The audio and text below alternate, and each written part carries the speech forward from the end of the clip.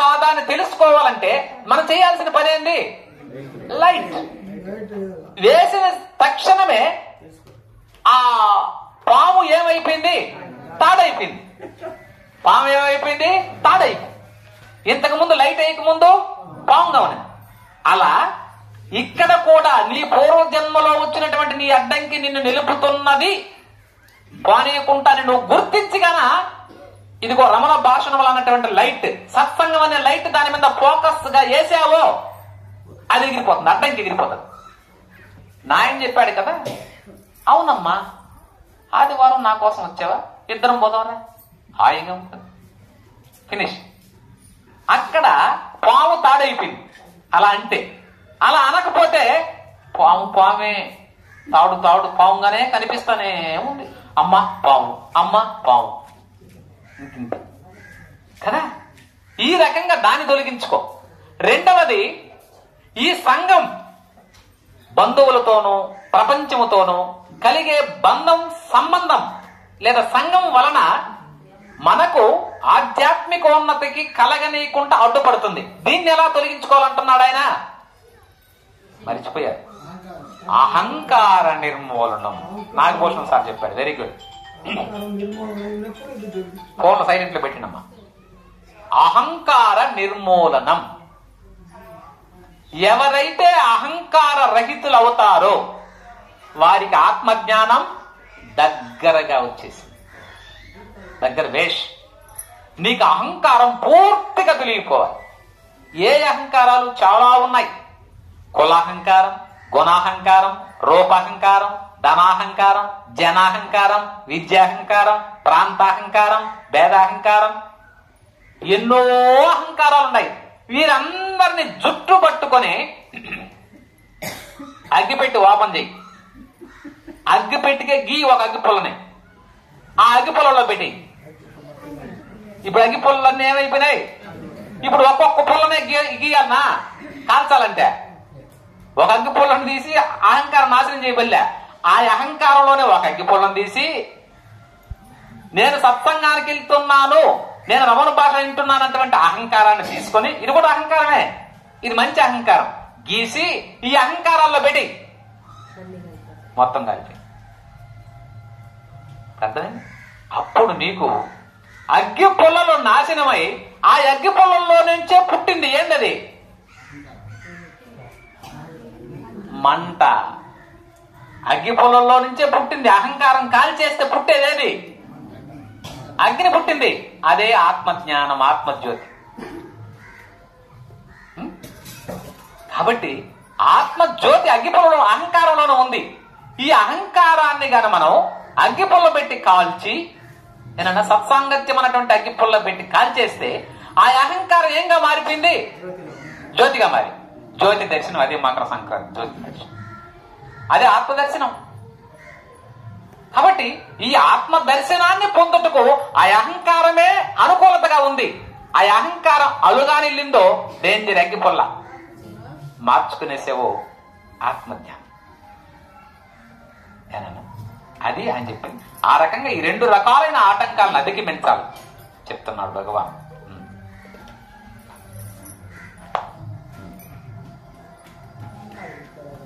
నాపుది ఒకసారి భక్తుడు గురువు అనుగ్రహం వల్ల ఆత్మలబ్ధి సులభమవుతుందంటారు.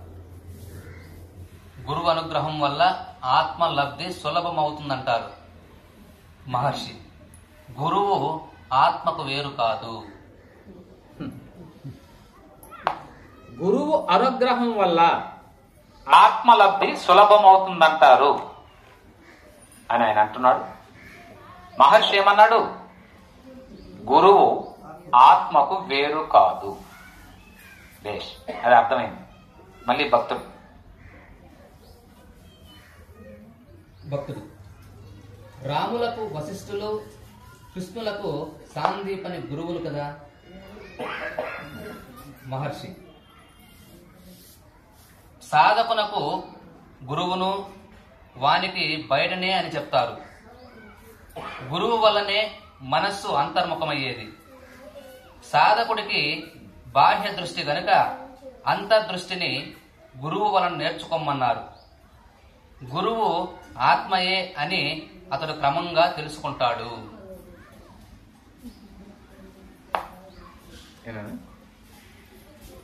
ఓకే.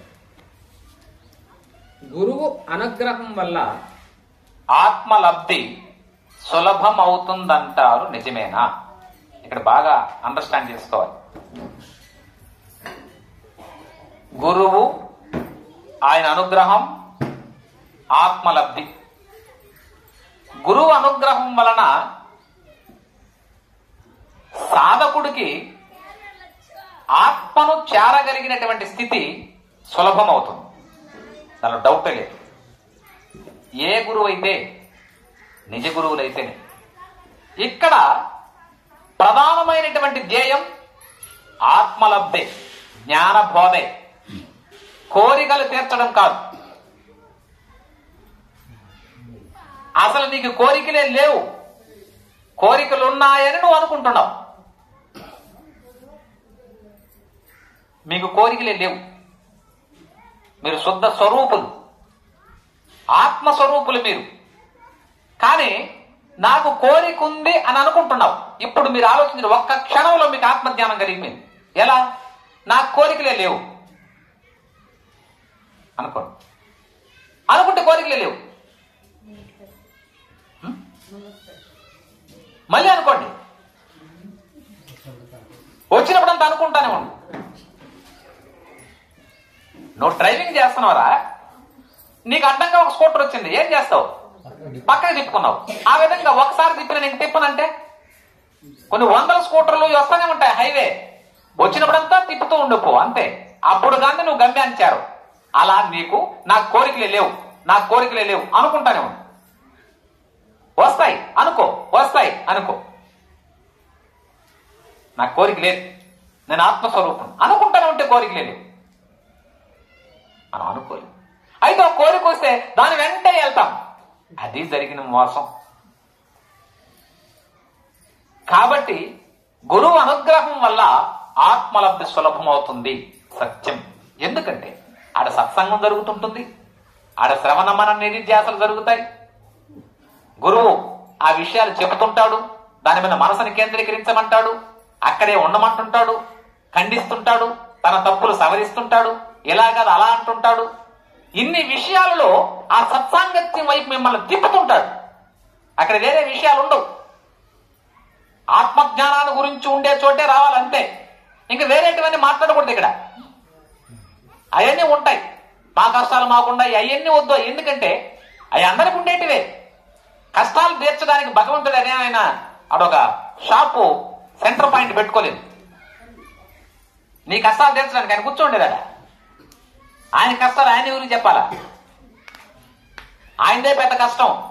మహావిష్ణువుదే పెద్ద కష్టమైంది. ఎందుకంటే ఆ మహానుభావుడు ఎవరో పోయి ఆయన్ని ఎదు ఎదమెంది అన్నాడు. ఎవరమ్మా తన్నింది భృగు మహర్షి. భృగు మహర్షి తంతేనే ఆయనకే దిక్కులే. నన్ను తన్నేవా మహానుభావ? నన్ను తంతే తన్నేవు. నీకెంత దెబ్బలేగలిందని కాళ్ళు పట్టుకొని మెల్లిగా ఆయన యొక్క పాదల్లో ఉన్నటువంటి ఆ కన్ను నొప్పేసి అది చూసి పాపం భార్య అలిగిపోయింది. ఇదేమిటయ్యా? పక్కనే ఉన్నటువంటి భార్య నేను నేను ఎక్కడున్నాను నీ హృదయంలో ఉన్నానని చెప్తివి ఇక్కడ తల్లింది పాపం భర్తని. భర్తను తల్లితే అలిగింది ఎవరు? ఇది మన సంసారం. విష్ణు కథ కదా మన కథే. భర్తను ఒకడు కొట్టినాడు. అయ్యో నీకెంత దెబ్బలు తగిలిన అందం లేని. మగోడుగా ఉండు నువ్వు. నువ్వు దెబ్బలు తిన్నావని కాదు. నన్ను తిడుతుంటే కబురు ఉండేదే నువ్వు దెబ్బలు తింటే తిన్నావు మగోడు. నీకు నాకు ఇబ్బందిలే. నిన్ను అడిగిలా మాటల తప్పుడు మాటలు. ఆ మాటల్లో నన్ను కూడా ఉంది. ఆ మాట నిన్ను కూడా గమనుండవు చూడు అది నాకు బాధ కలిగింది. నిన్ను కాళ్ళించేసిన నాకేం ఇబ్బంది లేదు. ఇది మన కథే. మహావిష్ణువు కథ కాదు. మహావిష్ణువుని ఎక్కడ తంతలే మహావిష్ణువు రూపం ఉంటే కదా తనను. మహావిష్ణువు రూపం లేదు. ఆ కథగా మనకు చూపించారు మన కథ అది. అక్కడి నుంచి అలిగిందా? ఎక్కడికి వెళ్ళింది? అమ్మగారింటికి వెళ్ళింది. ఆడవాడు అలిగి ఎక్కడికి వెళ్తారు? ఆ అమ్మగారింటికి వెళ్ళారు. ఇంక మగవాడికి దిక్కులేదు. వండి పెట్టేవాళ్ళు. ఈ మగవాళ్ళు ఏం చేస్తారంటే ఎదుక్కుంటా బయలుదేరుతారు. మన కథే. ఎత్తుక్కుంటా ఎత్తుక్కుంటా బయలుదేరి. ఇంకా ఆయన ఇంక ఎక్కడ కనబల్లా ఇంక మనం చేయాల్సింది ఏంటంటే తపస్సు అంటే ఏం కదా పాపం. అన్నాహారం లేకుండా గమన పడిపోవడం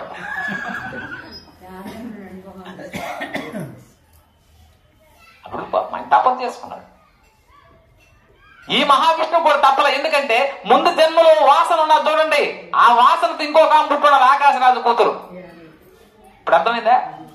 ఆ దేవుడు కూడా తప్పల. ఎందుకంటే ఆయన జన్మలో ఆయన వాసన ఉంది. ఆమె ముందు జన్మలో వేదవతిగా పుట్టి రాముడిని చూసి ఆయన పెళ్ళి చేసుకుంటే బాగుండే ఆయన అనుకునింది.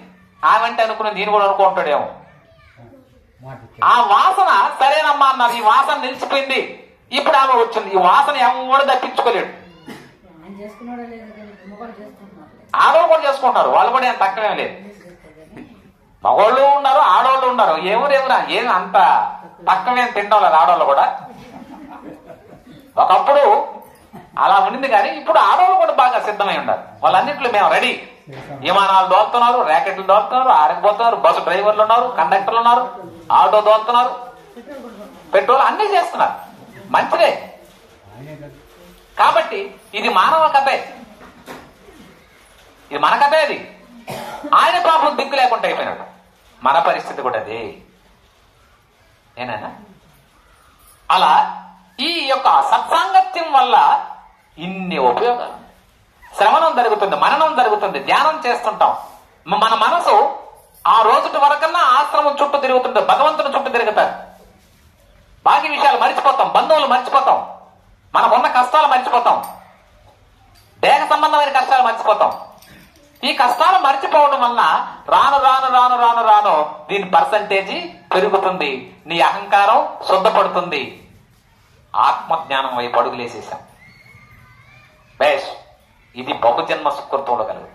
అంటే నువ్వు ముందు జన్మలలో వచ్చేటువంటి నీ వాసనను అధిగమించావు.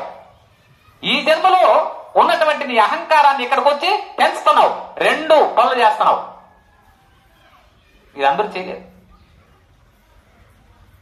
ఇక్కడికి వస్తే మన అహంకారాలు తొలగతాయి. పెళ్ళిలో ఉన్నటువంటి అహంకారాలు పెరగతాయి. అక్కడ అందరు కూడా వస్తూ ఫల ప్రదర్శన చేస్తూ ఉంటారు. పెట్టులో ఉన్నటువంటి బ్యాంకులో ఉన్నటువంటి ఆ రోజు వస్తాయి పైకి. మనం కూడా వాటిని చూసి అయ్యో మనం ఇంకా కొనలేదే. వాళ్ళు అనుకునేసినారా మనం ఇంకా కొనలేదు. ఏరా కారు ఇప్పుడు కొన్నావురా? మొన్నే కొన్నాను? వెరీ గుడ్ మేము ఇల్లు కట్టేసామరా అంత కాళహస్తి సిటీలో కట్టి. నువ్వు గట్లా ఇంకా? అక్కడ బోధంతా అదే ఉంటుంది. నిన్ను ప్రపంచం వైపు లాగేస్తుంటుంది అది. ఇక్కడ బోధంతా ఎలా ఉంటుంది? మేము కత్తెత్తుకొని నరకుతుంటాం. ఇక్కడ తెగ్గొట్టడం ఆడ తెగిపోయినటువంటి పొలం కోట్లు కట్టడం. అందుకని రమణ భగవాన్ ఎస్ మంచిది. గురువు అనుగ్రహం వలన ఆత్మలబ్ధి సులభం అవుతుంది. దానిలో డౌట్ లేదు. నిజమైన గురువు అయితే లేదంటే ఇంక వేరే విషయాలు చెప్పే గురువులు అయితే నాయన నువ్వు నీ భార్య భర్త భర్త రచ్చగా ఉందా? సహస్ర చండి యాగం నేను చేస్తాను రాగిరేగి తెచ్చుకో. దానికి నేను ఆదివారం నన్ను మంచి శ్మశానంలో అలా దాన్ని చూసుకుంటాను నేను చూసుకుంటాను దాని కదా అన్నాడు. ఇంకా అక్కడ అయిపోయింది. ఈ ఈ తాయిదులు కడుతున్నాడంటే ఇంకా అక్కడ అయిపోయినాడు. ఇవన్నీ ఒట్టి కథలు అబద్ధాలు. మహామహాత్ములకు కట్టలేనటువంటి వాళ్ళు వీళ్ళు కడతారా? వీళ్ళకి ఏం తెలుసని కడతారు? ఈ శరీరం ఎన్నో కోట్ల జన్మల నుంచి వాడి కర్మతో వాడు వస్తుంటాడు. అంత కర్మను తిప్పించగల మహాపురుషుల తిప్పించగలిగిన మహాపురుషుల రమణ మహర్షి రామకృష్ణ పరమహంస వివేకానందాదులు షిరిడి భగవాన్. ఇలా మహాపురుషులు కూడా వాడి వాడి కర్మను అనుభవించలేరా అనుభవించగలరు వదిలే. అన్నారే గాని వాళ్ళు ఇంకేరే మార్గాలు చెప్పాలి ఆత్మస్థితిని చెప్పారు. నాయన ఉంటే ఉన్నాయి. నువ్వు భగవంతుని ప్రార్థన చెయ్యి ధ్యానం చెయ్యి వస్తాయి. కష్టాన్ని కష్టం అనుకుంటేనే కష్టం రా. ఇప్పుడు కాలు దెబ్బ తగిలిందని ఒకటే ఏడస్తా ఉంటాడు. నేను అటు పోకపోయింటే పోయిన్నే ఆ రాయిని చూడలేదే నేను. గోరుతో కూడా ఎగిరిపోయింది. అబ్బో, రాయి ఎవడరా చేసిందట తెలివి ఉందంట. రాయి ఎందుకు పెట్టారంట అని తిడుతా ఉన్నాడు. ఇంతలో ఒక గురువు వచ్చి నాయన ఎందుకు బాధపడుతున్నావు అని? స్వామి కొంత తగిలింది రాయి గోరు లేచిపోయింది. ఓహో అదే. నాయన నీకు ఈరోజు యాక్సిడెంట్ జరిగి కాలు ఏడ వరకు ఇరిగిపోవాల్సిన పరిస్థితి ఉంది భగవంతుడు నిన్ను చేసే సత్సంగం వలన రక్షించి కాలి గోటుతో తీసేసి అబ్బా అవునా? ఇంతకు ముందు వరకు అది దుఃఖం. ఈ విషయం తెలిసిన తర్వాత సంతోషమైంది. ఇప్పుడు ఆ దుఃఖం ఏంగా మారిపోయింది? మరి దుఃఖం సంతోషంగా మారగలదా? మరి ఇప్పుడు మారింది కదా. ఇప్పుడు మారిందంటే ఆ గాయంలో మార్పు వచ్చిందా? నీ మనసులో మార్పు వచ్చిందా? మరే దుఃఖము అనుకునేదానికి నీ మనసే కారణమే గాని గాయం కాదు. రైట్? ఇప్పుడు చెప్పండి మనకు దుఃఖం ఉందా? మళ్ళీ ఏమైనా గమనైతున్నాయి దుఃఖాలు ఉన్నాయా మనక? లేవు. దుఃఖం ఉందని అనుకుంటున్నావు ఎవరు? ఇది తప్పు. దుఃఖమే లేదు. ఇంతకు ముందు వాడికి గోరు తెగిపోయినప్పుడు దుఃఖం ఇప్పుడు కాలే దిగిపోవాల్సిందని అన్నప్పుడు అమ్మో పోనీ నేను ఇప్పుడు బాగున్నా. మరి ఇంతకు ముందు సన్నివేశం ఇప్పుడు ఎలా సంతోషంగా మారింది? అనుకోవడంలో గాని ఇక దెబ్బలో కాదు కదా. గాయంలో కాదు కదా. కాబట్టి మీరందరూ కూడా ఆత్మస్వరూపులే. మీరంతా ఆత్మజ్ఞానులే. అసలు మీకు పుట్టుక లేదు మరణం లేదు. ఇక్కడ ఉన్న కూర్చున్న వాళ్ళు ఎవరికి మరణం లేనే లేదు. మరణం ఉందని అనుకుంటున్నాం ఇంతకు ముందులాగా. మనకు మరణం ఉందా? దేహం వదిలేస్తాం అంతే. గోర్లు కట్ చేసిన తర్వాత గోర్లు చూసి అయ్యో రెండు నెలల నుంచి పెంచుకున్న నా గోర్లు పోతున్నాయి అని ఏడుస్తామా ఎందుకు ఏడమమ్మా పైగా ఆ గోర్లు ఇంట్లో వేస్తే కూడా అనర్థం. ఏ బయట ఎడ లేదా? నీ ఒంట్లో ఉన్నప్పుడంతా ఉన్నంత వరకు ఇబ్బందిలే నీ ఒంట్లో నుంచి దూరం అయితే అనర్థం. అర్థమైందా? నిజమే. ఏమిటి దాని అర్థం అంటే ఈ పరమాత్మ నీ ఒంట్లో ఉన్నంత వరకు పరమాత్మే. నీ శరీరాన్ని వదిలిన తర్వాత శవం? గోరులాగా శవం. ఇవన్నీ అందుకు పెట్టారు. గోరుని ఎందుకు వేయిద్దాను అంటే ఇద్దరు ఈ విధంగా ప్రశ్న అడుగుతారని. ఒంట్లోనే పెరుగుతున్న గోరు కత్తిరించిన తర్వాత అపవిత్రం ఎట్టయిందని ఎవరో ఒకరు అడుగుతారు. ఆ అడిగితే ఇటువంటి సమాధానం. జ్ఞానబోధ ఎవరో ఒకరు చెప్తారు. అప్పుడైనా తెలుసుకుంటారని మన ఋషులు పెద్దవాళ్ళు. అనేక వేల మార్గాల్లో మనకు చెప్పారు దీన్ని. ప్రతి చిన్న విషయంలో ప్రతి పెద్ద విషయంలో ఇన్ని రకాలుగా చెప్పినా కూడా బడికి పోలేకపోతున్నాం. అనేది వాడు బాధ. ఋషులు బాధ. ఈ అలా ప్రయత్నించిన వాళ్ళు రమణ మహర్షి. ఆయన మాట్లాడేవాడే కాదు. ఇదిగో మనలాంటి దీనుల వైపు కన్ను తెరిచి. ఆయనకి మాట్లాడడానికి ఇష్టం లేదు. అయినా వీళ్ళు అడుగుతున్న ప్రశ్నకు ఆయన సమాధానాలు చెప్పారు మన కోసం. లేకపోతే ఆయనకి ఇష్టం లేదు. ఆత్మస్థితిలో ఉండగలిగిన మహాపురుషులు కన్ను తెరిచి మాట్లాడడం అనేది కుదరదు. ఎందుకంటే వాళ్ళు అతీతమైన ఆనంద స్థితిలో ఉంటారు. దాన్ని అనుభవిస్తూ రమిస్తూ ఉంటారు. ఎవరో వెళ్ళి మాట్లాడితే తప్ప కన్ను తెరిచా ఏం చెప్పనా? దయాత్మ హృదయలు ఈ కిందకు వచ్చి ఆ సరే. అవునా? అని సందేహ నివృత్తి చేస్తారు మహాపురుషులు. మరి ఆయన ఆత్మ తపశక్తిని మనకు కాస్త ఖర్చు పెట్టి పుస్తక రూపంలో ఇచ్చినప్పుడు మనం దాని సద్వినియోగం చేసుకోవద్దా? మనమెంత దుర్మార్గులవి? మన తండ్రి ఇచ్చినటువంటి పది ఎకరాల పట్టా మాత్రం నాలుగైదు ఫోటో స్టాట్లు తీసి దాని మీద లామినేషన్ చేసి పెట్టులో భద్రంగా పెట్టుకుంటామే ఇదిగో ఇలాంటి మహాపురుషులు ఇచ్చినటువంటి ఈ ఆస్తి కోట్ల ఆస్తి. దీని విలువ కట్టలేని ఆస్తి. ఈ ఆస్తిని అందరూ అనుభవించండి అని ఇచ్చారే మరి దీన్ని ఎంత భద్రంగా పెట్టుకోవాలి? ఎందరి ఇళ్ళలో భగవద్గీతలు ఉన్నాయి ఎందరి ఇళ్ళలో రమణ భాషణములు ఉన్నాయి. అసలు రమణ మహర్షి భాషణాలు తెలిసిన వాళ్ళే పెద్ద పెద్ద వాళ్ళకి తెలియదు. మీరు వింటున్నారు మీరు చదువుతున్నారు. గ్రేట్ రమణ మహర్షి అంటేనే ఓ అమ్మో మనకు అర్థం కాదులేరా? అంతే. పలానా చెన్నైలో హాస్పిటల్ ఉందంటే అక్కడ పోతే బాగా అయిపోతుందంటే అడ్రస్ నువ్వు కనుక్కోలేకపోయినా తమిళం లేకపోయినా ముగిచ్చేస్తావా? దానిలో ఏదో మ్యాప్ పెట్టుకొని దాన్ని పెట్టుకొని అడ్రస్ కొట్టి. ఈ రాజులపాలెంకి నీకు కనబడాల అడ్రసా? మ్యాప్లో దొరకలా? ఎంతో మందికి మెసేజ్లు పెడుతున్నారు పిలుస్తున్నారు రండి ఆయన అంటున్నారు. ఇన్ని పెడుతున్నా? వాళ్ళకి అర్థం కావట్లేదు పాపం కారణం ఏంటంటే పూర్వజన్మ ఆటంకాలు అడ్డంకి. ఓకే? ఆ విధంగా గురువు అనుగ్రహం నీకు లభిస్తుంది. ఆ గురువు ఆత్మకు వేరుక. ఈ గురువు అవసరమయ్యే శ్రీరామచంద్రమూర్తి ఆయనకి విద్య నేర్చుకోవాల్సిన అవసరం లేదు. పరమాత్ముడు. శ్రీరాముడు విద్య నేర్చుకోవాలి. ఆయనే పరమాత్మ అయ్యుండి వశిష్ఠుడి దగ్గర కూర్చున్నాడండి. అది విచిత్రం. వశిష్ఠుడే ఆనందపడ్డాడు. వశిష్ఠుడు రామును చూస్తానే పొంగిపోయేవాడు అంతటి గొప్పవాడు రాముడు.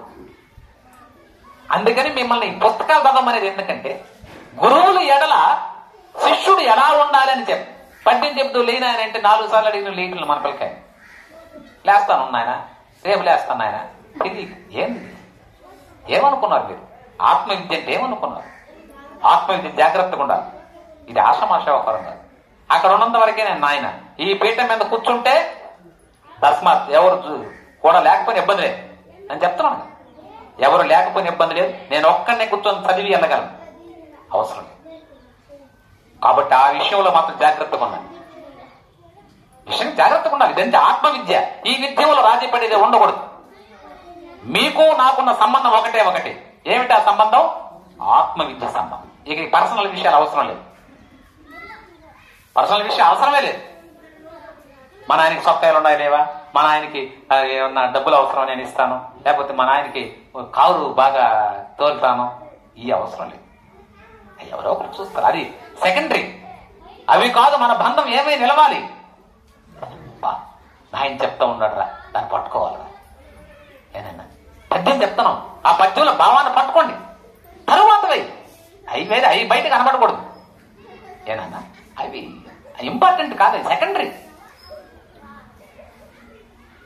వాటితో ఉండకూడదని ఆయన తప్ప తప్పు కాదు.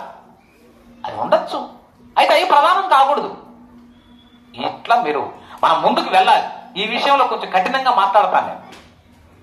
దాన్ని వేరు కనుకో ఉండాల్సిందే తప్పదు.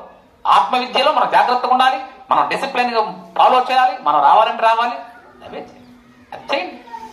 మీకోసమే నేను అంతే ఇంకేం. ఓకే. ఇక రాముడు వశిష్ఠుడి దగ్గర నేర్చుకున్నాడు విద్య. వశిష్ఠుడు ఆనందపడ్డాడంట. ఎటువంటి రావడం ఈయన కింద కూర్చోవడం నేను పీఠం మీద కూర్చొని చెప్పడమా? అని వశిష్ఠుడే పరమాత్మ కింద కూర్చొని పరమాత్మను ధ్యానించినటువంటి ఋషి పైన కూర్చున్నాడు. అది భారతదేశంలో గురువుకి ఇచ్చిన విలువ. ఇంతటి శ్రీకృష్ణ పరమాత్మ చిన్ననాడే. ఆయన నోటిలో భువన బాండములు. అమ్మా తమ్ముడు మన్ను తినేను. చూడమ్మా అని రామన్న తెలుపగా అన్నా అని చెవి నిలుమి యశోద ఏదన్నా నీ నోరు చూపుమనగా.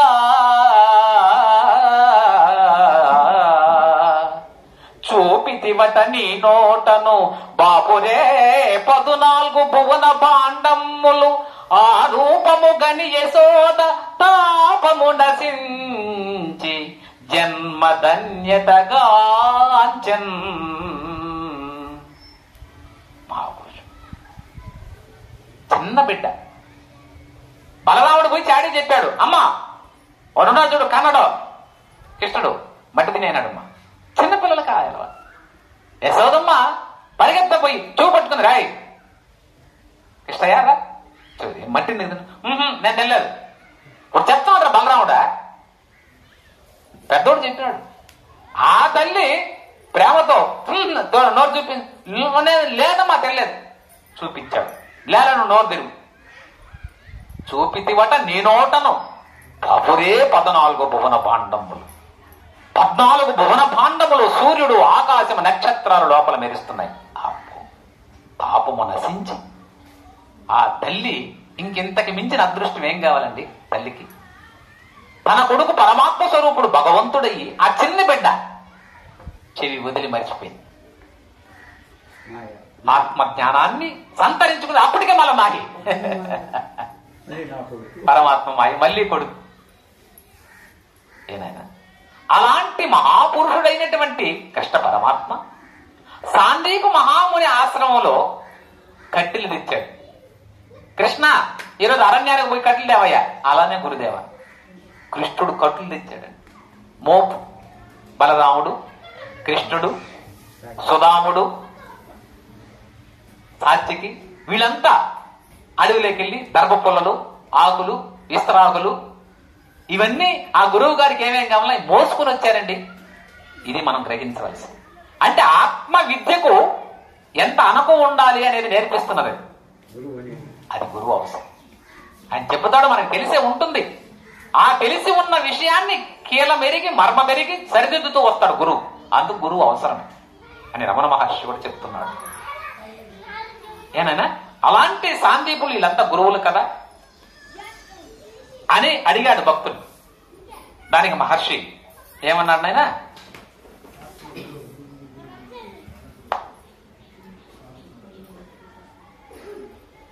మహర్షి సాధకునకు గురువును వానికి బయటనే అని చెప్తారు. గురువు వల్లనే మనస్సు అంతర్ముఖమయ్యేది. సాధకుడికి బాహ్య దృష్టి గనుక అంతర్దృష్టిని గురువు వలన నేర్చుకోమన్నారు. గురువు ఆత్మయే అని అతడు క్రమంగా తెలుసుకుంటాడు. ఇక్కడ మీరు జాగ్రత్తగా గ్రహించండి. భగవాన్ కొండ బద్దలు కొట్టలుగా చెప్పడంలో శాస్త్రాన్ని విపులీకరించడంలో ఆయన ఎవరికి భయపడడు. రమణ మహర్షికున్నంత ధైర్యం ప్రపంచంలో ఒక్కడ కూడా లేదు. ఏం చెప్పాడు చూసారా? సాధకునకు గురువును వానికి బయటే. సాధన చేసేటువంటి వాళ్ళందరికీ గురువు ఎవరు? బయట వ్యక్తి. సాధన చేసే వాళ్ళందరికీ. సాధకులకు మనందరికి. గురువు ఎక్కడున్నాడు బయటే. అప్పటి వరకు చెయ్యాలి. బయట సత్సంగానికి వెళ్ళాలి. ఒక క్రమశిక్షణతో ఉండాలి. పద్యాలు చదవాల్సిందే. అడిగిన సమాధానం నేరవాల్సిందే. ఆత్మజ్ఞానం కలిగేంత వరకు సాధకుడివి. కలిపిన తర్వాత ఋషివి. నువ్వు సాధకుడివి. సిద్ధి పొందలేదు. సిద్ధి పొందితే పరమాత్మవు. ఆ పొందేంత వరకు సాధకుడివే కాబట్టి నీకు గురువు ఎక్కడుంటాడు? బయటే. ఒక మనిషి రూపంలోనో ఒక సత్సంగం రూపంలోనో ఒక పుస్తక రూపంలోనో నీకు దర్శనమిస్తూనే ఉంటాడు భాగ్యంగానే ఉంటాడు. ఎప్పటి వరకు? అప్పటి వరకు. గురువు పట్ల నీ మనసు అంతర్ముఖం అది. ఆ గురువు నీ మనసును ఏం చేస్తాడు? బయట వెళ్ళే మనసును లోపలికి లోపలికి తోసి తోసి తోసి పంపిస్తా ఉంటాడు. అది గురువు చేయాల్సిన పని. బయట వెళ్ళే మనసును అంతర్ముఖం అయ్యేదానికి ఆ గురువు ప్రయత్నిస్తుంటాడు. ఏది? భాగ్యంలో ఉండే గురువు. తరువాత సాధకుడికి బాహ్య దృష్టి కనుక. ఎందుకంటే బాహ్య దృష్టిలో ఉంటాడు సాధకుడు. అందుకని ఈడు మనసు లోపలికి వెళ్ళేంత వరకు అందరూ బంధువులు ఉంటారు నాయన. అర్థమైందా?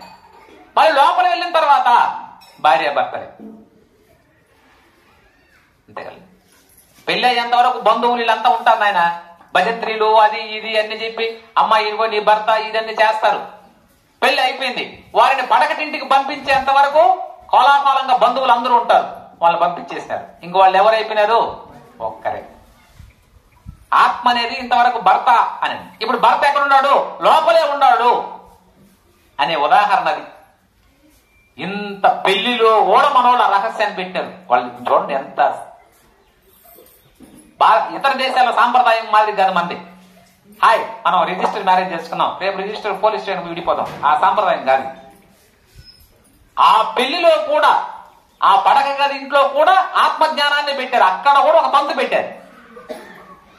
అక్కడ కూడా పనులు పెట్టడం ఇది పెట్టడం బంధువులు రావడం ఇది అప్పచెప్పడం ఇవన్నీ ఏమిటివంటే ఆత్మజ్ఞానం వైపు కూడా ఆడ మళ్ళించాలి. ఎవడు ఎక్కడ మారుతాడు చెప్పలేడు. ఏనండి? చాలా మంది మారిపోతారు.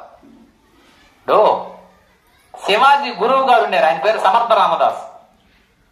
మలయాళ స్వామి ఆశ్రమంలో దాని మీద గ్రంథమే రాశారు. దాస బోధ. చాలా కొంచెం కఠినంగా ఉంటుంది గ్రంథం. దాస బోధ. ఇది మన సమర్థ రామదాస్ రాశారు. దానిలో శివాజీ పరిపాలన కూడా ఎలా చేయాలి రాశాడే ఒక సద్గురువు రాసినట్టు విధంగా పరిపాలన చేశాడు శివాజీ. అందుకని ఈనాటికి నిలిచాడు శివాజీ. ఏనైనా? మహాత్ములు చెప్పినట్టు పరిపాలన చేశాడు శివాజీ. అందుకని శివాజీ చక్రవర్తి గొప్పవాడు. ఆయన కూడా అహంకారం ఉంటే తగ్గించాడు. తగ్గించాడు. ఎక్కడ అహంకారం వచ్చినా అప్పటికే వచ్చి తగ్గించి పరిపాలన చేయించాడు. మరి ఈనాడు మనం ప్రజలంతా డబ్బులు తీసుకుని ఓట్లేసి ప్రజలది కూడా తప్పు ఉంది ప్రజలదే అసలు తప్పు ఉంది అసలు తప్పు కాబట్టి ఇతర వ్యక్తులు మనకు డబ్బులు ఇచ్చినప్పుడు వద్దయ్యా. మేము మిమ్మల్ని సత్యంగా ఎన్నుకోవాలి. మీరు సత్యంగా పరిపాలన చేయండి. జరగదు. కాబట్టి ఇది అందరూ అనుకొని చేయాలి. అలా జరగటం లేదు. కాబట్టి పరిపాలన దెబ్బతింటున్నాయి. ప్రజలు ఇబ్బంది పడుతున్నారు. పాలకులు ఇబ్బంది పడుతున్నారు. కాబట్టి ఆనాటి రాజకీయ పరిస్థితులు అలా ఉన్నాయి. అలా దాతబోధ రాసినటువంటి సమర్థ రామదాసు ఆయన హనుమంతుని యొక్క అంశతో జన్మించాడు. వాళ్ళ అమ్మ పెళ్ళి చేయాలంటే ఆయన వద్దనేవాడు. అట్లా కాదు నాన్న నా కోసమే పెళ్ళి చేసుకోరా? అవునమ్మా సరే. రే నిన్ను పీట్ల మీద అన్నా చూసేంత వరకు ఉండరా? అనింది వాళ్ళమ్మ. అట్లేనమ్మా. అంటే ఒప్పుకునేనాడు అనుకుని పెళ్ళి మాట్లాడేసరి అన్నీ అయిపోయింది. ఆయన ఈ పక్క ఉన్నాడు పెళ్ళి కూతురు ఆ పక్క ఉంది. అంటే తెరగుంట పడతారు కదా గుంట తీసిన తర్వాత తాలిబొట్టు కట్టాలి. ఆ గుంట అడ్డం ఉన్నప్పుడు అవతల వ్యక్తి కనబడకుండా ఉన్నాడు ఆయన. అందుకని ఆయన పెద్ద తక్కువ తక్కువ మంది ఉన్నారు జనాలు. ఆ నుంచి పరారా వెళ్ళినాడు. చెప్పేసి వెళ్ళినాడు. అమ్మా పెళ్ళి పీటల దాకా ఉండమన్నావు కదా. పెళ్ళి పీటల దాకా ఉన్నా వెళ్ళిపోయాను నీ మాట నిలబెట్టుకున్నాను. తల్లి మాట నేను జవదాట్లేదు అదే మా. అదే వెళ్ళిపోవడం మహా తపస్సు చేశాడు మహానుభావుడు సమర్థ రామదాస్. ఆయన కూడా గోసిగుడ్డతోనే తిరుగుతుంటాడు ఆయన. పెద్ద వస్త్రాలు లేవు ఆయన గోసిగుడ్డ ఆయన రాసిన గ్రంథం దాసబోధ. ఇలా ఎందరో మహాపురుషులు ఉన్నాయి అది గురువు. కాబట్టి మన మనసులను లోపలకు తోసేంత వరకు భాగ్య గురువు అవసరమే. మనసులను తోసేసాం వాళ్ళ భార్య భర్తలను కలిపేసినాం. ఇక రోజు వాళ్ళకి బంధువులంతా వచ్చి నాయన జాగ్రత్తగా ఉండు ఆడబెట్టవి అని ఆ యొక్క పరక్కింటికి పంపిస్తారా? ఇంకా మీరు ఆత్మ పరమాత్మ ఒకటే పోండి. అది విషయం. అలా ఈ బాహ్య గురువులు అంతర్ముఖమయ్యేంత వరకు సాధకుడికి అవసరమే. ఆ తర్వాత సాధకుడికి అంతర్దృష్టిని గురువు వల్ల నేర్చుకోమన్నారు కదా. గురువు ఆత్మయే. మళ్ళీ బాహ్యంగా గురువు అవసరము? నీలోనే ఉన్నాడు గురువు. నిన్ను మంచి విషయానికి మంచని చెడు విషయానికి చెడని ఇలా ఇలా వెళ్ళు ఇలా వెళ్ళు అని నీ అంతరాత్మే గురువుగా మారి నిన్నేం చేస్తుంది ఆయన నడిపిస్తుంది. రైట్? ఇప్పుడు అర్థమైంది? సాధకుడికి గురువు ఎక్కడుంటాడు? ఎలా బయట. సాధకుడికి గురువు ఎలా ఎక్కడుంటాడు? సాధన అయిన తర్వాత గురువు ఎక్కడుంటాడు? అప్పుడు నీ గురువు ఎవరు? నీ ఆత్మే. నీ అంతరాత్మే నీకు గురువు. అందుకని ఆ పాటలో పాడుతాం చూడు మనం. యౌవన దినకరుడస్తమించనే చేరువయే జీవన సంధ్య. జార విడిచితివి జీవితమంతా. జార విడిచితివి జీవితమంతా అని ఇప్పుడన్నది నా మనసు నా మనసు. యౌవన దినకరుడస్తమించనే చేరువయే జీవన సంధ్య. తనువును చక్కగా పాలించి పెంచి వేషభాషలకు ప్రాధాన్యమిచ్చి తనువును చక్కగా పాలించి పెంచి వేషభాషలకు ప్రాధాన్యమిచ్చి అంతరాత్మ బోధన వినలేదు. అంతరాత్మ బోధన వినలేదు అని ఇప్పుడన్నది నా మనసు. నా మనసు యౌవన దినకరుడస్తమించనే చేరువయే జీవన సంధ్య చేరువయే జీవన సంధ్య.